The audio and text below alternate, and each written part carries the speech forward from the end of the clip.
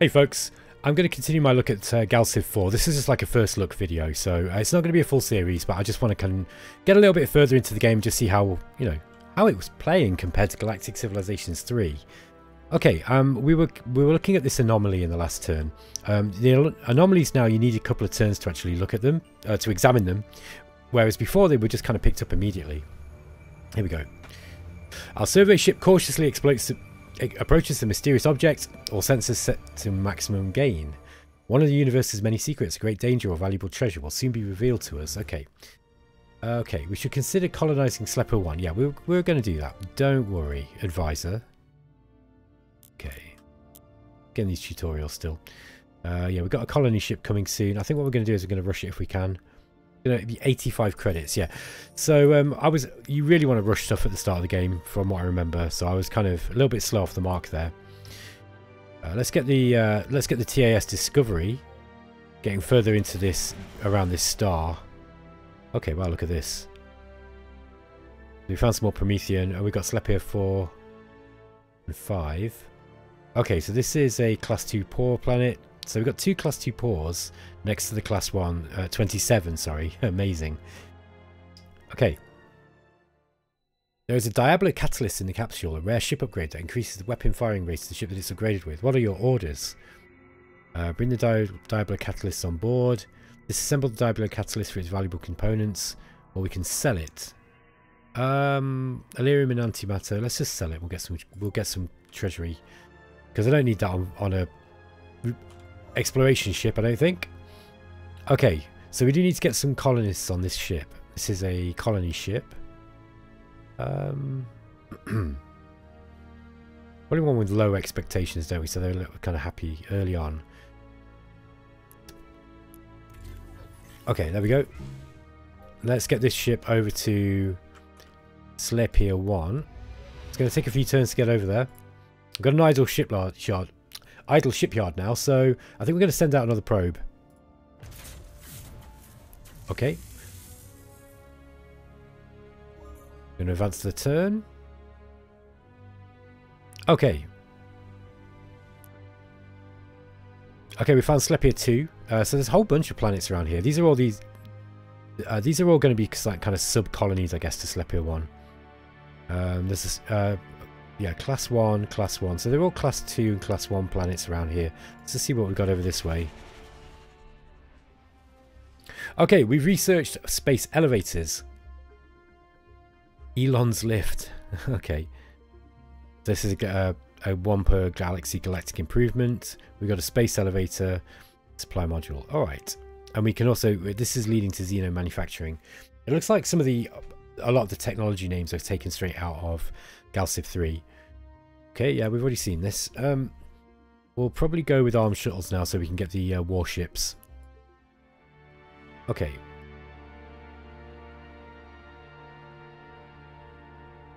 Hold on a minute. Where did you come from? Yeah, this thing's still set to explore, I think. Yeah, it should be set to exploring. Uh, this one wants to be... I think we'll go head to, down towards this uh, this planet now here. Or this star here. Okay, we got a colony ships moving over there to uh, Slepa 1. Now, is there anything we need to attend to? Um, let's have a look. No, we're still building this trade network. Now, can you rush build? Yes, you can. Let's rush build the trade network because that's it's probably worth the credits because we'll, we'll eventually recoup it with the extra trade income that we're going to be getting. All right, we've got an idle core world. Okay, so yeah, now we need to look at building something else. Okay, so we can build the industrial center. Now this gives us plus three to manufacturing. Unless we can put some other manufacturing buildings in, in these particular locations here. Alternatively, we could put it up here, uh, yeah, I mean, we could put one here plus one. That's going to be plus three, but with only one connection. Um, that'd be plus one, and we could potentially get like plus two, plus three, plus four if we put it here. That's going to be better for research. Uh,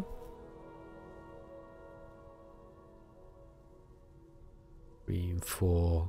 Yeah, we get four bonus here. Yeah, I mean, if we if we if we really wanted to max out manufacturing on Earth, we could put it here in Africa here, and then you know we could build a bunch of manufacturing buildings around. Um, uh, let's put the industrial centre here. We'll just put it here, and we'll build something next to it. I'm not I'm not going for crazy min maxing in this game. It's just just wanted to have a quick look at it. Okay. Oh, we've got enough culture points. Okay, minus 15% decay from colonies if we go for independence. We've also got liberty, self-governance. Plus 8 approval on all core worlds except your home world and a free leader. Um, yeah, so we could we, we can just ignore those for the time being. We'll see what we need um, as the time comes. Oh, okay, so we found the uh, Altarians. We need to research uh, Universal Translator. Huh? Okay, so that's something we probably want to get researching as soon as possible. Um, we're going arm shuttles next. Got another event. Uh, what are your... Yeah, so it's asking us if we want to develop universal translation technology. So we'll come back to it shortly. And we, yeah, we want to, uh, we want to get Slepo 1.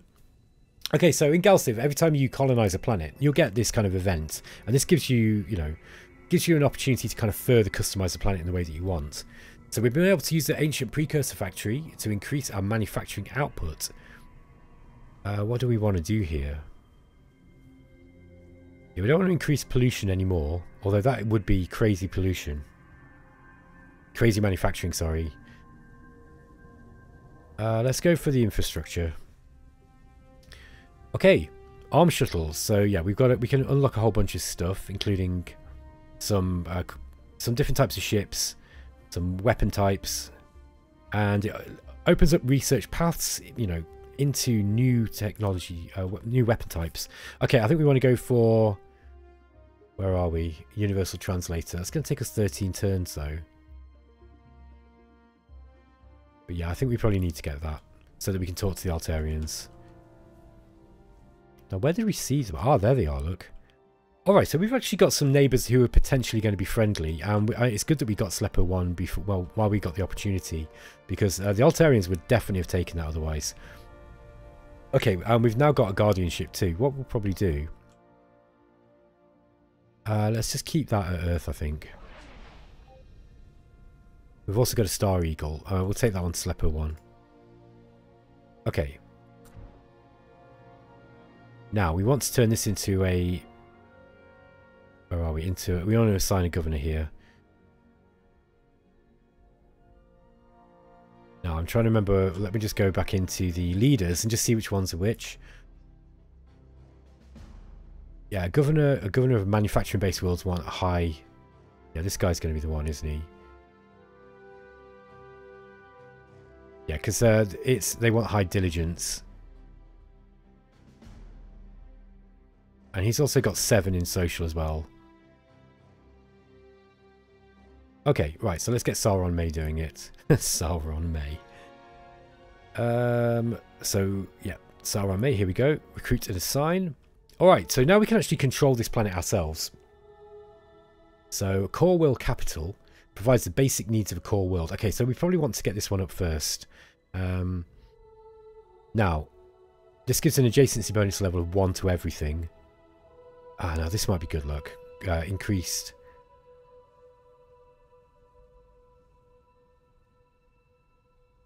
Wait a minute, where is the...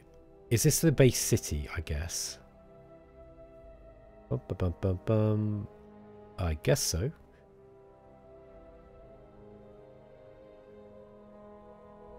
Prime approval, planetary defense. Where does it tell us our citizens? Okay, here we are.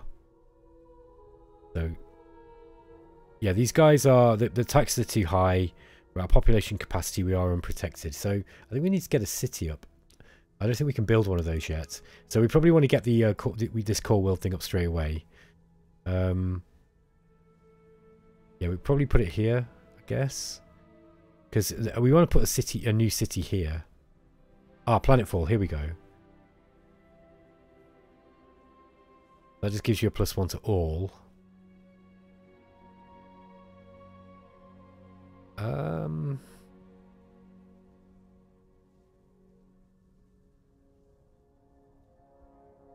Yeah, let's put let's put it where, where it is here on Planet 4. Now, do you want to build a uh, shipyard yet? I guess so. Uh, no, let's not do that yet. Supply depot. Streamlines the distribution of goods and supplies to residents, improving productivity and comfort. Okay, this is going to further raise uh, manufacturing and approval. Uh, we've got the colonial generator. This is going to give us manufacturing and malevolence. Okay. That's kind of interesting. Uh, then we've got garrison. That gives us military. I think... Uh, we probably want to get the supply depot up first, I would have thought, to increase approval. Yeah, plus one to uh, manufacturing and one to military. Okay. So we could put the manufacturing up here.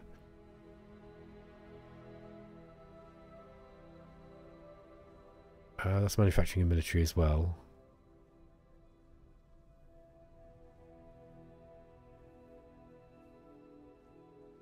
Manufacturing plus one.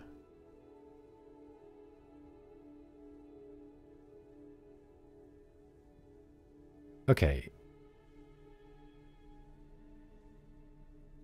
Yeah, let's get it here. So... Sorry, we want the colonial generator. supply depot. There we go. All right, let's get that one up. All right. We should, colonize, uh, we should consider colonizing Alganeb 4. That's this one here. Okay, so wow, there's another Class 36 planet. That's really, really nice. We've got to get there, though, before... Uh, that's going to be difficult because we don't have that many population now on um, on Earth. So we've got to we've got to find a way of like rushing population. Now we could use this executive order look, which will give us an immediate. Where are we? Yeah, draft colonists.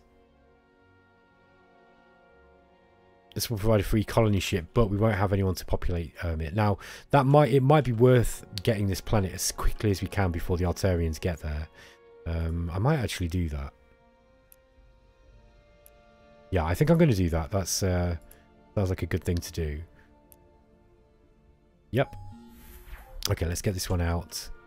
Now, we've got colonists, here. we've got citizens on it. So let's get these guys out to Aganeb 4 here. Hopefully we can get there before the Altarians. I would even consider attacking the Altarians over that, to be honest. Because getting a getting a decent, you know, planet like that, and especially in a small sector here, might be a good idea. Okay, there's an idle shipyard at Earth. Um, yeah, let's get the supply ship up. Now this, well, maybe another constructor.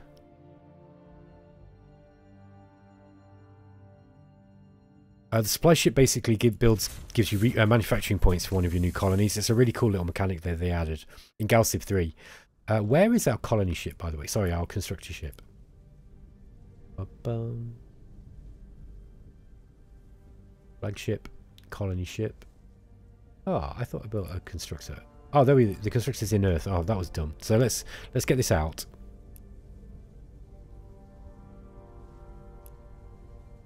Come on.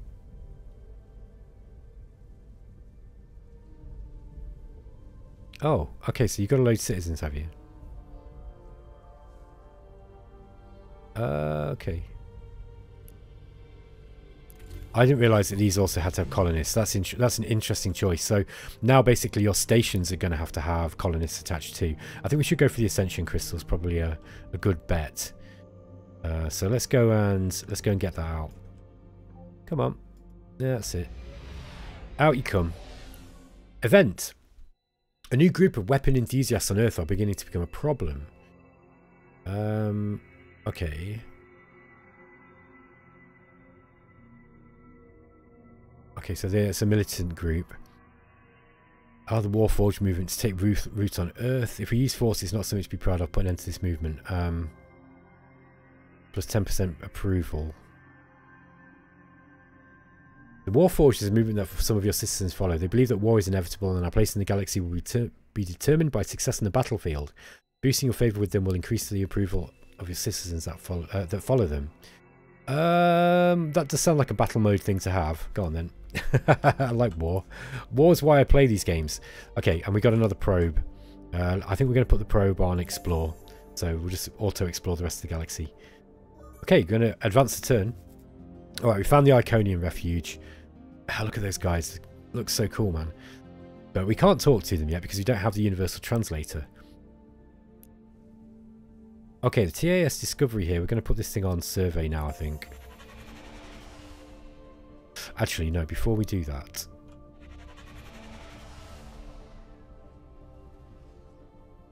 Okay, never mind. We'll just get it. We'll just get it. Uh, getting the anomalies because the the anomalies are good anyway.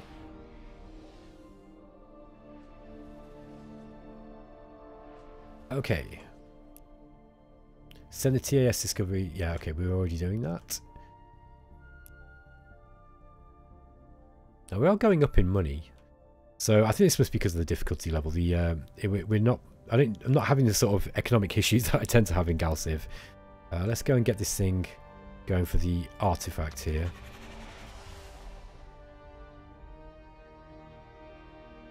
And what have we, what else have we got down here? Ah, oh, look. So these guys are going to colonize this planet before us. Ah, oh, that's a shame. In fact, they've got there already, look. Dang it. Alright, so let's see if we can find somewhere else to colonize. We'll go to... Should be a planet screen. Uh, I guess we get them on Slepper. Uh, maybe one of these ones here. Okay, that's going to give us extra food. Going to give us pollution. Let's go and get this one here. It's Leper 5. I think that's going to be the... That's a shame we missed that other planet, but, you know... Fortunately, we can we can always go to war with the Iconians, and that might be a good idea to get an early planet like that. Artemis.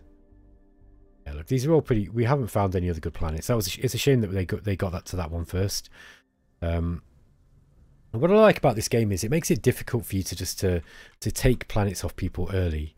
It's it's not that easy. I think I don't know how you actually invade in this one, but at least in Galciv 3, you had these kind of troop transport ships. Okay, should we get Yeah, let's construct the star base here. In fact, can we get one that will be closest to Urantium? Probably. Maybe if we get one, uh, we should be able to get it between two. Cosmic Pioneers, civilizations with the most colonized world. Okay. So the Altarians look, look like they're doing okay there. Right, we can get this one up. So let's go to construct starbase. And... okay, so the communication starbase uh, extends your cultural influence and its assets and collects nearby strategic resources. I'm assuming that that also means the Ascension Crystal.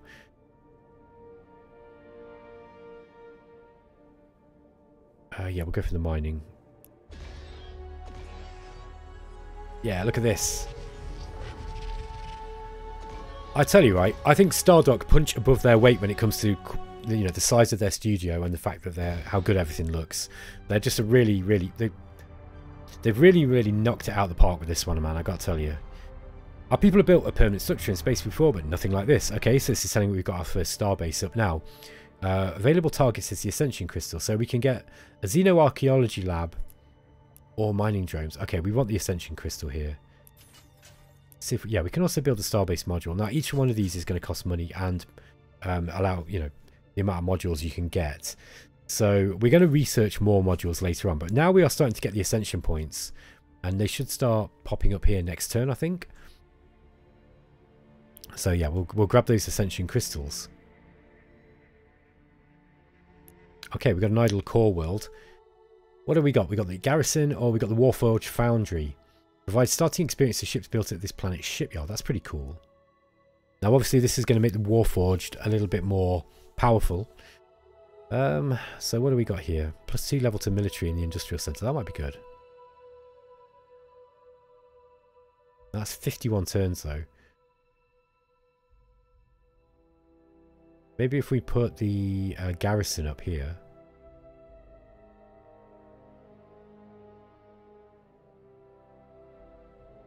Um, it's a long time. It's a lot of turns. I think maybe if we put the garrison up first, and what I'll do is I'll put it here, and then we'll put the we'll put the uh, the Warforged factory in between these two, I think. Probably how we're going to do it. But we'll get the bonuses from this straight away. Alright. Check the next turn. Let's have a look at the galaxy overall. Oh, sorry, this sector overall, I should say. Because this is just, remember, this is just one sector of many. Um, yeah, smoothly, it, I love how smoothly it trans, transit, you know, uh, how it transitions between the different levels of play. Very, very cool. It kind of makes the game feel, it, it makes the game feel more manageable, I think, if you can kind of if you can kind of zoom out and just see it on a sort of more grand strategy level, uh, you don't feel that you just you you know you have just got these millions of hexes. And I'll tell you what, it's an engineering feat to make a game like this with the amount of um, hexes that are in play. This is something Brad Wardell was talking about when we interviewed him, actually.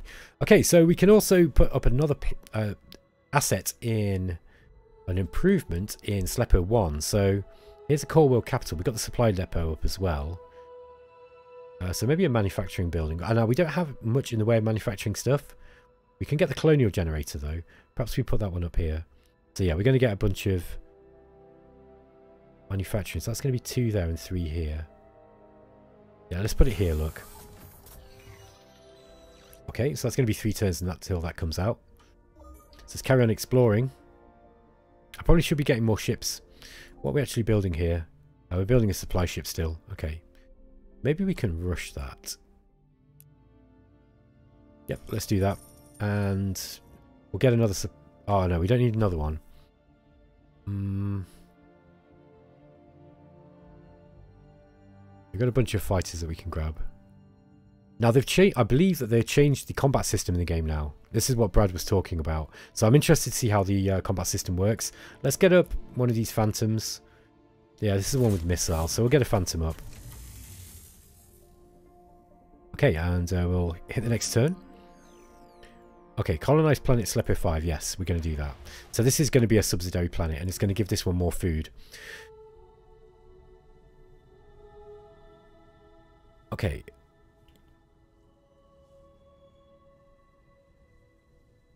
Okay, yeah, to get more food, colonize new worlds or specialize the citizens into farmers. Yeah, this is this is becoming quite a complex game. And I like Rob from Explorminate, my colleague at Explorminate, was, oh, you know, he's the boss of Explorminate, but he was saying that he thinks this game, like, it's got the potential to be one of the best Space 4X games now. And I don't think he was, I think he liked Galciv 3, but I don't think he was, he loved it, you know? Like, I, I loved Galciv 3, I thought it was really good, but I think Rob was, I think he thinks this one's a lot better. So I'm actually quite excited to see, you know, what what is new in this one. I didn't really play it a whole lot I'll be honest with you, during the beta, I had a cursory look and I kind I was a bit like, okay, this looks cool, but it's a little bit a little bit underbaked for me at the moment. Okay, Sauron May, Governor of Slipper 1, is speaking openly about our incompetence. Oh dear. Some of our more soft-hearted advisors suggest this is a normal part of a complex society, while others recommend we take firm action against governor and, soft and soft-hearted advisors. Okay, we can increase liber liberty or authority.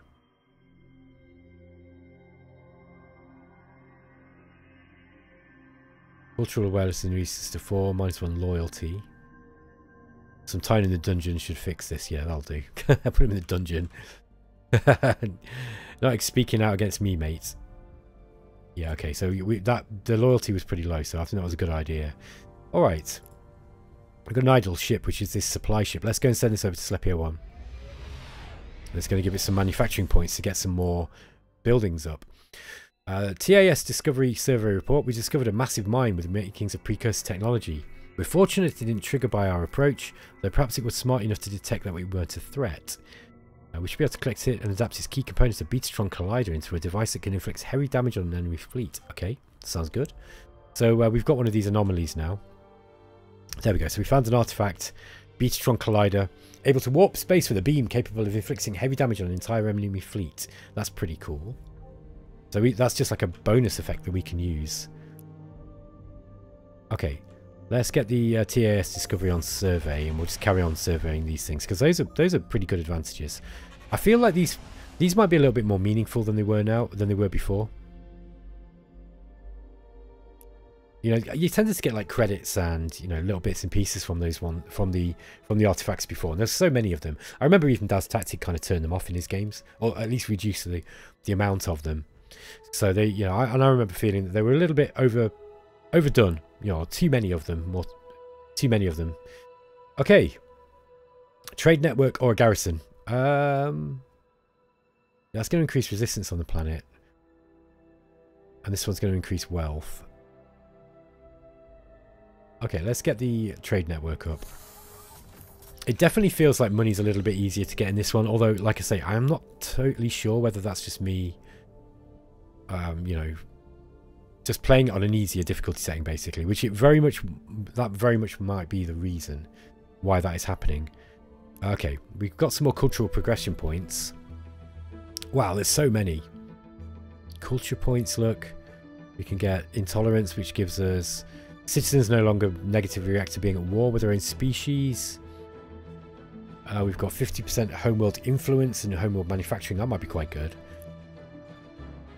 Minus percent, 15% decay from colonies. Okay, so what is decay? That's what I want to know. Okay, this is giving us our victory conditions. Hold on. What is decay, eh? Probably should have uh, checked out more of the the uh, tutorials. Okay, cultural progression, executive orders, data bank. Statistics. So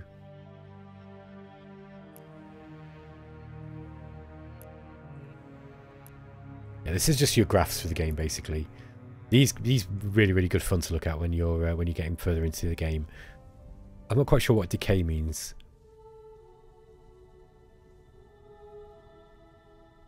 Uh, can't see it anywhere. I'm not going to worry about it too much now. I'm sure I'll come across it later in the game. So, uh, but reducing it sounds like it's probably good. Okay, cultural progression. So secrecy, plus five deception, um, and a trait for your leaders, plus one diplomacy. See, I like diplomacy in this game. It's the Galactic Civilization series of games is one of the few 4X games really where you can. It's very viable to play in a in a peaceful way, and you can actually win by you know really not going to war very much. There's very few 4X games that do that well. Um, okay, kindness gives an approval bonus based on compassion, plus one diplomacy, innovation, approval boost after discovering. A, oh, we've already got that one. Plus three research after discovering an anomaly. That might be good. Let's let's go deeper into innovation. Okay, we've got five culture points, so we need a little bit more to get deeper into the tree in somewhere else, in, in one of the other paths. Alright, experimental technology. Tales from the corner of our empire dazzle and excite the people of our homeworld. Every detail of space life, colonial, uh, sorry, space travel, colonial life, and contact with aliens is endlessly fascinating to our uh, citizens. In particular, our discovery of evidence of ancient alien civilizations have inspired many to believe that our own worlds host the remains of crashed alien ships. Okay. We should search for them or they'll be dangerous. Get more more authority or liberty. Um, let's go with more authority again. Where's yeah authority? Look, so we're actually gaining more authority. Iron Fist. When you whip a worker, it inspires immense productivity in him and any that witness the event. Yeah, okay. So you can you can kind of like you know you might be able to play as humans, but they're not you're not kind of hard coded into playing in a peaceful way. Like the the Galciv's got a really really nice way of developing your an organic way of kind of developing your civilization. It's not as detailed as Stellaris, but very few games are in that respect. Uh, I still think this is a better game than Stellaris, personally. At least uh, Galciv 3 was. Um, I find Stellaris' war simulation just really boring. And the leaders in Stellaris are kind of kind of suck as well. This is not very interesting. Okay, uh, keep, just tab through to the next turn. Let's see what we've got down here. Here's New Iconia. So this is the um, this one belongs to what these guys called? The Iconians, of course. Uh, who are these? Altarian Republic. Okay. The Altarians have actually taken a planet down here. In fact, Altarians are expanding quite quick. Looks like um, the Aliconians were a little bit slow off the mark. That's interesting. They're going to have some border friction here. It'll be interesting to see if they go to war over that. Um, okay. Now, we're, actually getting Durantium every turn now, look. So getting um, 0.2 per turn, I think. Yeah, so every every uh, every five turns we're going to get Durantium. I think that's right. Okay, press tab. So we've got an idle shipyard. Um, yeah, we'll get some more of these ships out, I think. Let's go for the Star Eagle. Little fighter ships. Um, so I'm probably going to go and get some more of the... I'll probably stay, keep these at Earth, actually. And just start building a, a little fleet here. Now, because even the Galciv is a big game and there's often a lot to manage, because of the automation, um, you don't have to micromanage everything, right? And the turns go by relatively quick, so you can actually play this game quite quick, considering how big it is. So um, that's one thing, you know, I know some people kind of, look, this is a really manageable size of map. And, you know, yeah, you have got other sectors, but there's not going to be that many, right? So this is going to be a relatively short game, I think, for a 4X. Anyway, folks, I'm going to end the episode there. I hope you're enjoying this. It's, I don't know if I'm going to turn this into a series, as I said, but I just kind of wanted to play a little bit further and just see a little bit more of this. So hope you enjoyed that. Let me know what you think about GalCiv 4. Uh, do you like the look of the game and are you interested in buying it? Um, have you got any feedback for the developers? Thanks, guys, and I'll catch you next time. Take care.